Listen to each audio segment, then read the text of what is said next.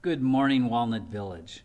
Well, today, May 11th, we finish up our study of the book of Joshua as we are in the last chapter, Joshua 24. It's been a good book and a good study, and I hope that you have enjoyed it and learned uh, from studying it as much as I have. Well, we left off, of course, with chapter 23 last week, and let's just review uh, before we finish up with chapter 24 this morning. In 23, we saw that Joshua, in his old age, gathered the leadership of Israel together to give them a farewell address, to communicate to them the things of his heart, the things that meant the most to him, the things that were important for the children of Israel to remember, to not forget in their following of God. Joshua begins his address by giving glory to God. And this is good coaching for all of us. Whenever we pray, Perhaps it would be good for us to start by giving glory to God, thanking Him for all that He does and who He is. And you know, it would have been easy for Joshua to just focus on what he had done as a military leader, especially because Joshua had an impressive record. But he is far more interested in glorifying God than talking about himself. And that is the proper perspective in which uh, Joshua held himself because we know that it was God Himself that brought the victories.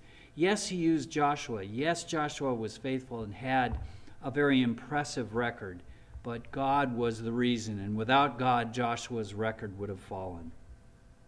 So Joshua then reminded those gathered that it remains for each individual tribe to fully possess what God has given him. It's like I say on Sunday mornings you know, a gift is no good if you don't open it. And so, here too, uh, with the children of Israel, in the same way, they had to fully possess the land. And in the same way, God gives every believer an inheritance. We need to remember that we have been blessed with every spiritual blessing through Christ. And we read that in Ephesians 1 3. You may want to look that up later today. God has a definite part for us to play in possessing our inheritance. So we see that uh, Israel going forward could really only succeed if they were obedient to God, and that took courage. So, what do I mean by that? Well, following God and His Word isn't something for the faint of heart, because sometimes in following God, we have to make hard choices. Our human nature, our sinful human nature, in that nature, we tend to focus on the aspects of obedience that we like the ones that we support, the ones that maybe are easy for us, and we skip over the parts that attract us less or are difficult to follow or are weaknesses in our character. Well, Satan doesn't care which extremes takes us in the wrong direction. Either our legalism or our licentiousness can cause us to fall, and it pleases Satan when it distracts from God. Israel's enemies, we saw, had witnessed the great power of Israel's God. So it was a reminder to Israel and to us that Israel did not necessarily worry the enemies of God, but Israel's God terrified them. So they were frightened of Israel for that reason. Sometimes we forget that it is God that produces uh, tremendous good in our lives, and people's reaction to us is more a reaction to who our God is.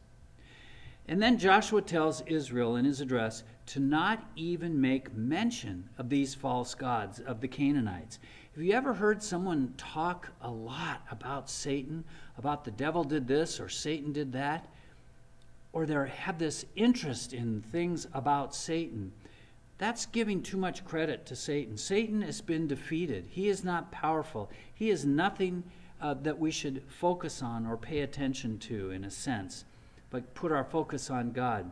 And so Joshua says instead of learning about your enemies, the Canaanites, instead, the quote is hold fast to the Lord, their God. That's what Joshua instructs Israel to do. How often we see that the temptation that we have pampered and encouraged and indulged in our own lives has become a scourge and a thorn in our side. The compromising Christian is not a happy man. Ungodly influences never advertise themselves as an instrument of ruin. Instead, they present themselves as wonderful things. But we must see past all of this. That's the nature of a temptation. It looks so good. We can't resist it, but it leads to ruin. Well, the chapter then ends with a reminder of the principle of blessing for obedience and curses for disobedience. And that was a specific part of Israel's covenant with God. And you'll read in Leviticus 26 and Deuteronomy 28 that covenant. And Joshua emphasized that God will be just as faithful to judge as he has been to bless. And with obedience comes blessings unlimited. That's the message that Joshua leaves with the children of Israel in chapter 23. Okay, our passage today, Joshua 24, let's get right into it. This is all about the Lord's covenant with Israel that is renewed. So we read starting with verse 1 Then Joshua summoned all the tribes of Israel to Shechem. And um, this was really a, a dramatic thing. Uh, it was a dramatic last gathering of Israel before the passing of Joshua. And it may or may not have been part of the farewell that we read about in Joshua 23. We don't have the sense of that. No specific place of gathering is mentioned in Joshua 23, so it could have been part of this same meeting at Shechem uh, that Joshua calls the people to. Now, Shechem is an ancient city that was situated on the floor of a valley near the entrance to Mount Gerizim and Mount Ebal, and it formed uh, respective walls on either side of the valley. So the contour of the land resulted in a natural amphitheater, uh, and the acoustics of which were so good that the human voice carried to exceptional distances. That's a little piece of, of education that uh, Arthur Pink gives us.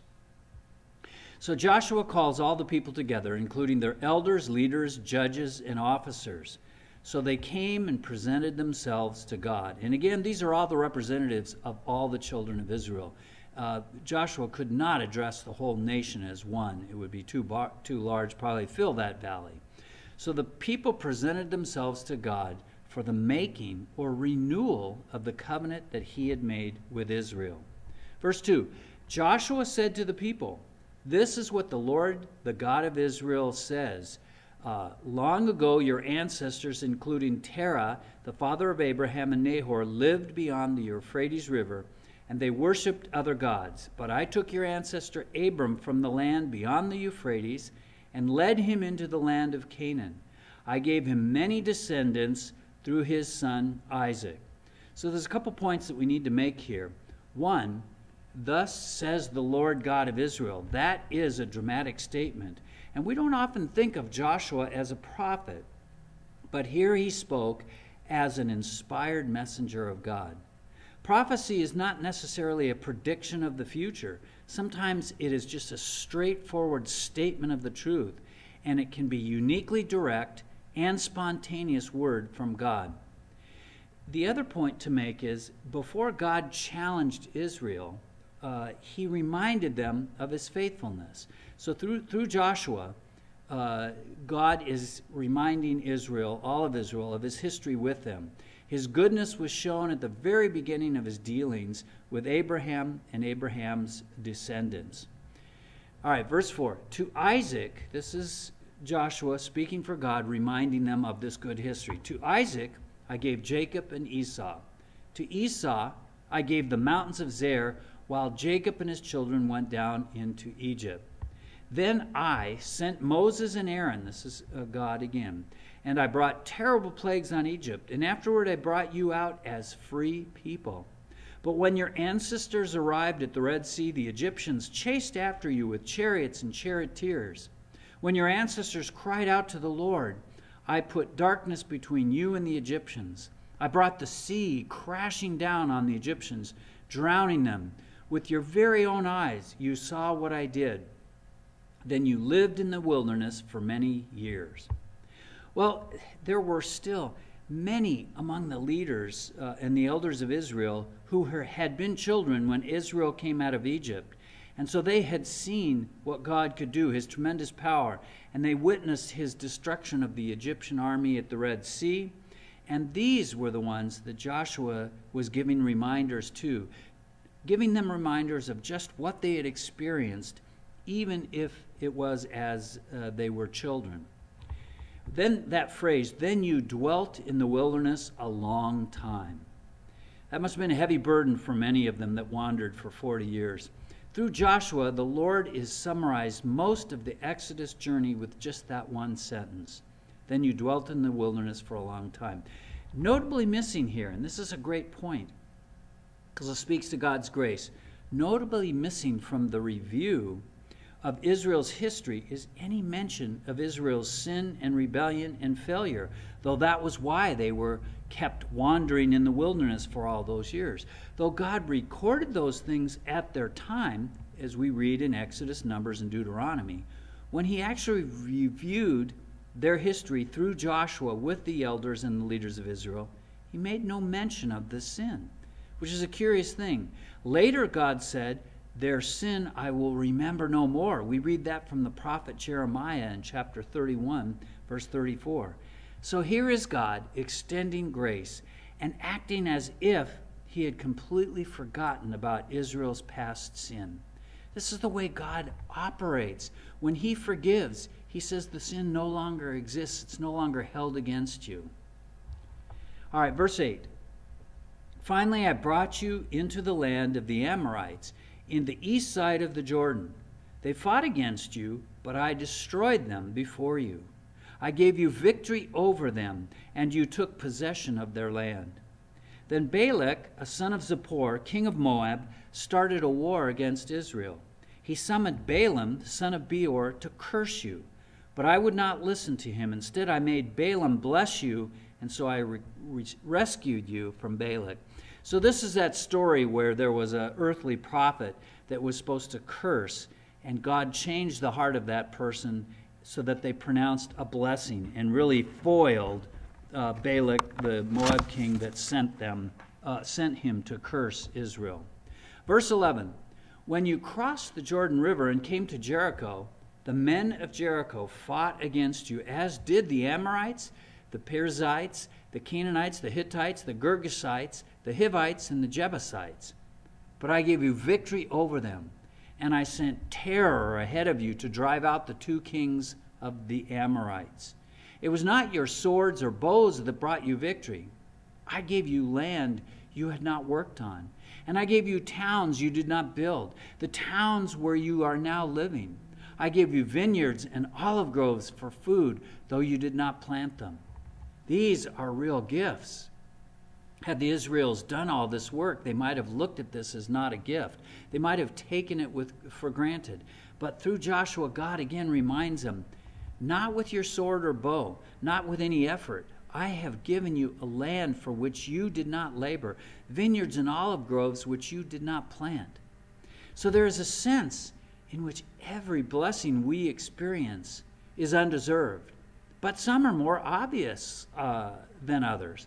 When Israel enjoyed the vineyards, when they, they had that fruit, when they had the great harvest, when they saw how rich the soil was in the land, it made it especially uh, made them especially grateful for undeserved blessings. They, it, it, was visual reminders. It was very tactile. Uh, they should also have remembered that those who planted the vineyards and orchards were removed by God's righteous judgment.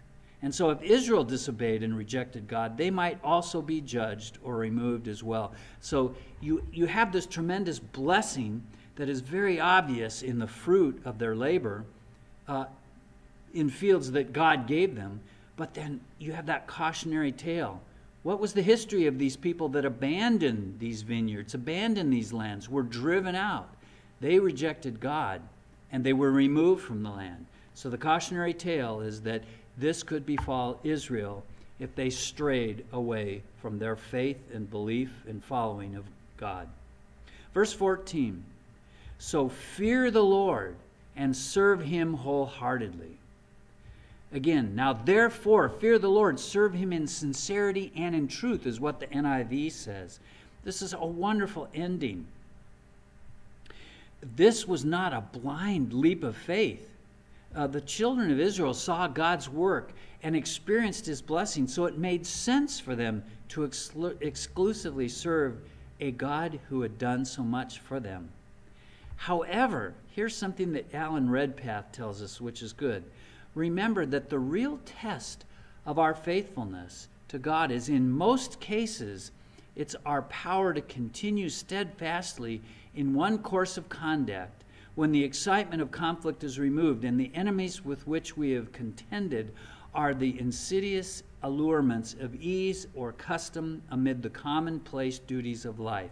So, what's Redpath saying here? He's saying that when we face tremendous trials and we're all amped up in fear, concern, and worry, and we plead with God, and God gives us victory in those moments, that's almost easier than what happens when we just have peace and blessings and commonplace life.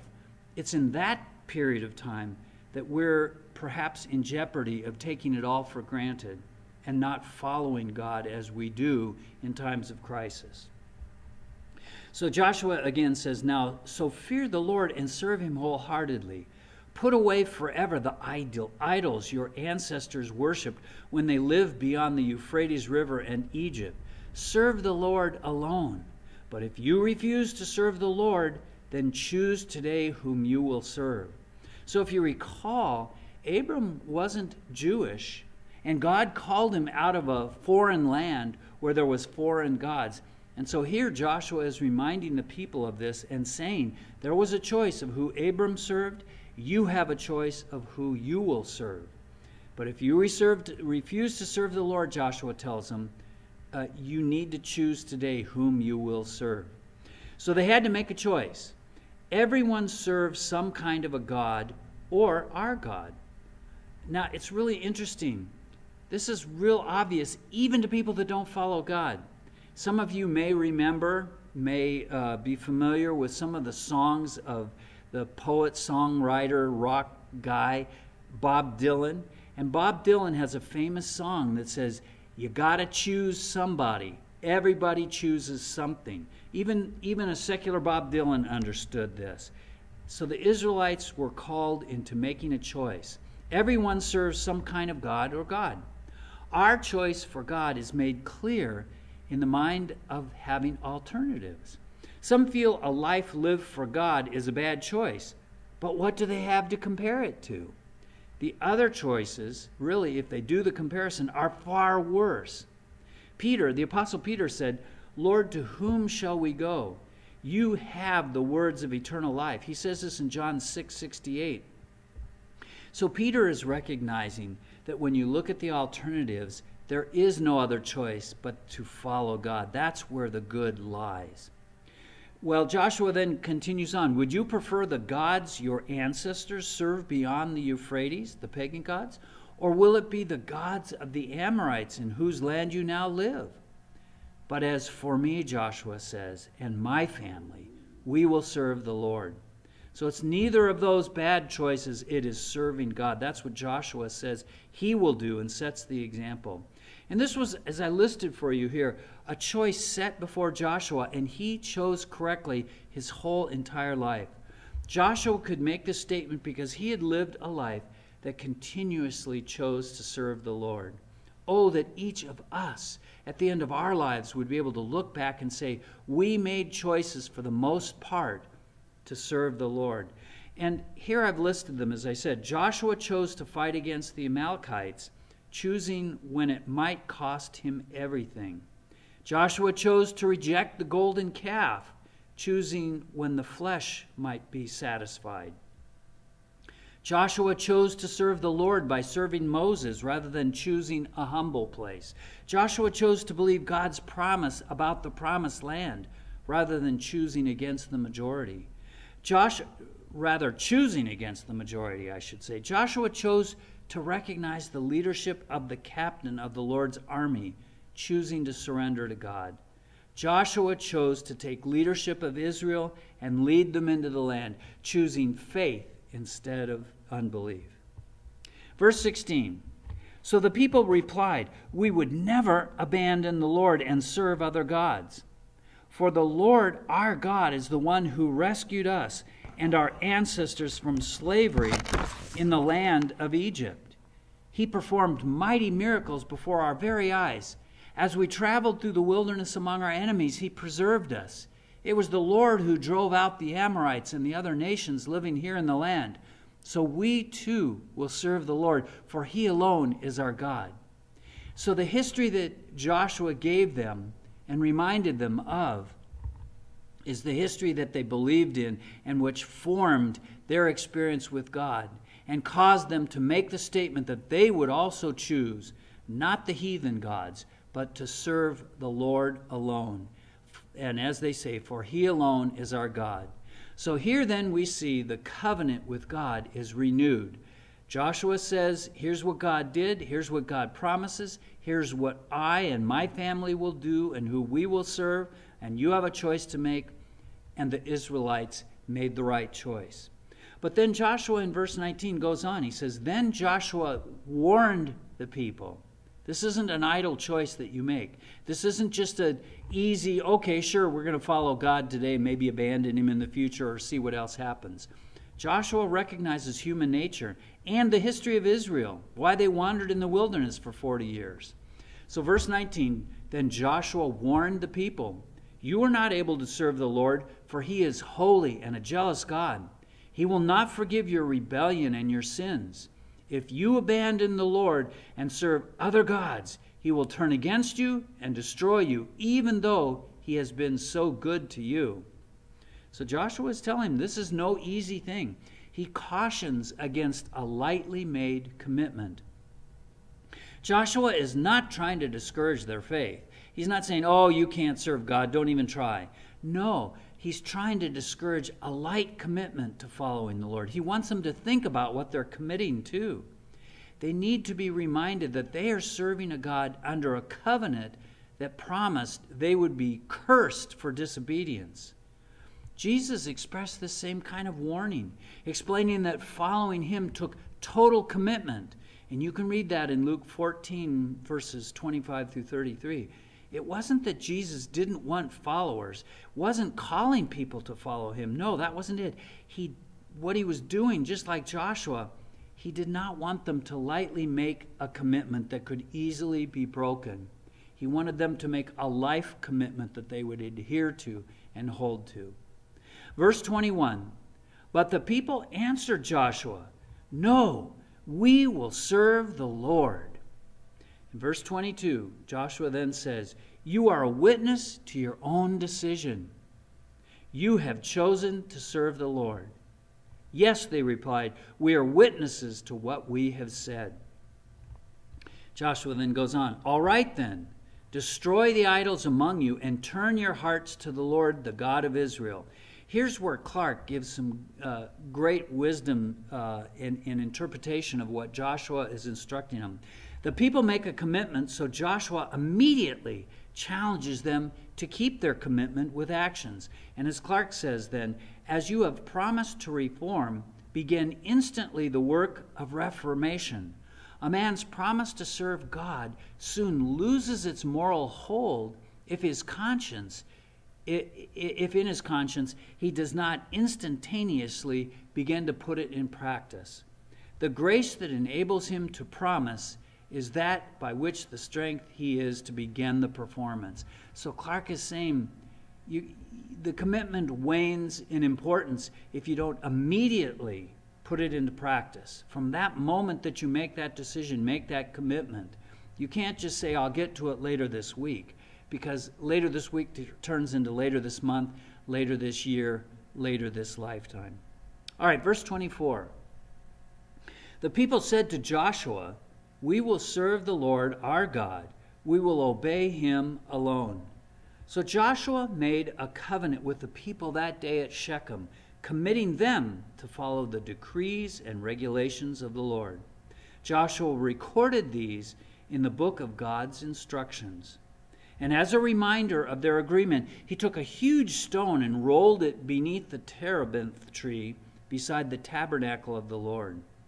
Joshua said to all the people, This stone has heard everything the Lord said to us.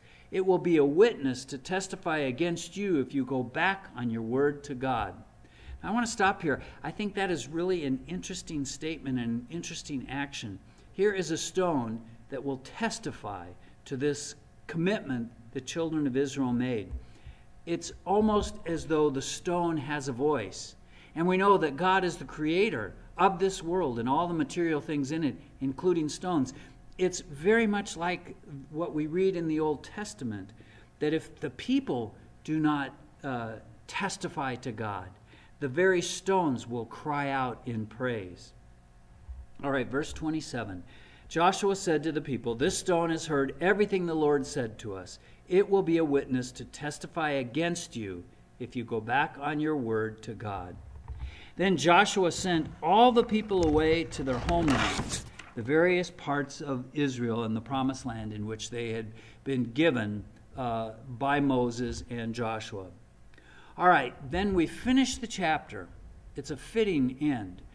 The leaders are buried in the promised land. Verse 29. After this, Joshua, son of Nun, the servant of the Lord, died at the age of a 110. They buried him in the land he had been allocated at Timnath in the hill country of Ephraim, north of Mount Gaash. The people of Israel served the Lord throughout the lifetime of Joshua. And again, just a reminder what a wonderful legacy. Don't you want your children and grandchildren, or your friends, or those that remember you, to describe you as a person who served the Lord throughout your lifetime? The, okay, the people of Israel served the Lord throughout the lifetime of Joshua and of the elders who outlived him, those who had personally experienced all that the Lord had done for Israel. Israel served the Lord all the days of their lives all the days of Joshua. This was the greatest legacy of Joshua. Not his battles, not his wisdom, not his prophecies, not his leadership. It was that he served God his entire life. Verse 32 The bones of Joshua, which the Israelites had brought along with them when they left Egypt, were buried at Shechem in the plot of land Jacob had bought from the sons of Hamor for a hundred pieces of silver. This land was located in the territory allotted to the descendants of Joseph. Eleazar, son of Aaron, also died. He was buried in the hill country of Ephraim in the town of Gibeah, which had been given to his son Phinehas. So this may seem like an inconsequential point, but it fulfills Genesis 50 25. God likes to tie up loose ends. This is also mentioned in Hebrews 11:22 as an example of Joseph's faith. So, so God never leaves things hanging. He finishes stories, He finishes our stories, He finishes commitments, He finishes His plans and His buildings as well. All right, something to consider for this week. I've given you just a couple things. Serve the Lord. We read that, right? In the review of his, Israel's history, we might say that God contrasted his great work with three sets of gods, little g, gods, associated with three waters. What is it? Well, Joshua 24, 2 and 4 shows that the other side of the Euphrates were the gods of Sumerian and Babylonian culture, or gods of heritage. Joshua 24, 5 through 7 shows on the other side of the Red Sea were the gods of ancient Egypt, gods of upbringing. And then Joshua 24, 7b and 13 and 24, 15 shows that they, as they crossed the Jordan, there were gods of the Amorites, gods of culture. So Joshua applied the principle the Lord God of Israel is greater than all these idols. Therefore, serve the Lord. So doesn't matter for the Israelites what the cultures around them were, what their heritage was, what their upbringing was, what their history in the culture was. None of that mattered. It was serve the Lord. And you know, for us, maybe the lesson is to take some stock of our lives and say, what are the gods that we have to set aside and resist serving in our lives today? Finally, then, our prayer for this week.